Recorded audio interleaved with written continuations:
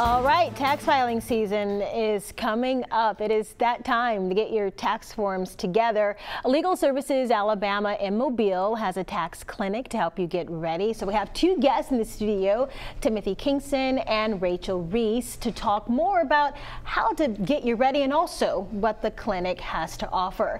And on that note, Rachel, I want to ask you, you know, you guys do offer a lot for people in the community. Talk about the services. Right. So we are a statewide non nonprofit law firm for low-income Alabamians.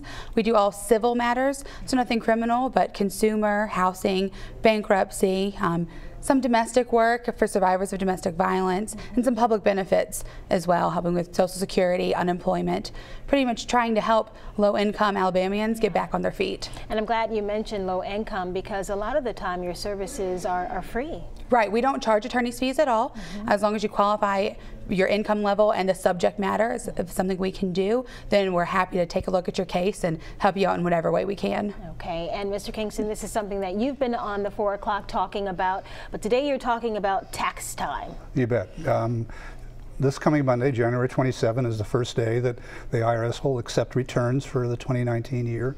So as you said a moment ago, people need to gear up, get their mm. paperwork together. Um, just so people know, another deadline, which is very important to especially our clients, the low-income clients, is the first time that people can expect refunds uh, for mm themselves is more or less around the end of February, so people need might want to keep that date in mind as well. Okay, so when we're talking about getting our papers together, depending on your individual situation, um, what all should they gather? W-2s and... Sure. I mean, if a person's a basic wage earner, mm -hmm. it's pretty easy. You'll get a W-2 from your employer, or you're required to. They've got to give it to you uh, by the end of January um, under law. Um, other, you know, if you have a small business, you're going to need to get together your receipts, your, you know, your profit and loss statements, other, you know, expenses that you might have. And we can also help people determine what kind of materials they need to get together. Yeah. And in terms of making sure that you have receipts, how important is that, like for donations?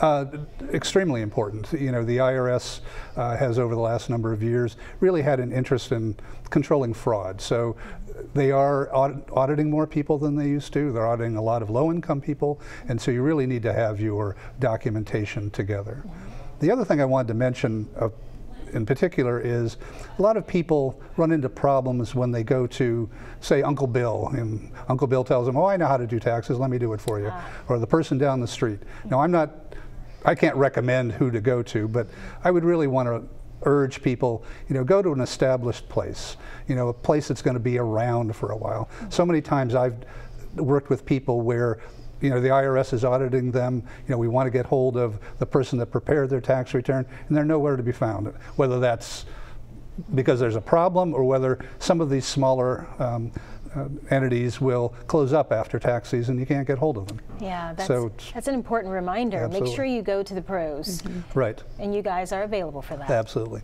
We don't prepare tax returns, but I'm happy to give people advice about how to do it and help them if they run into a problem with the IRS down the road.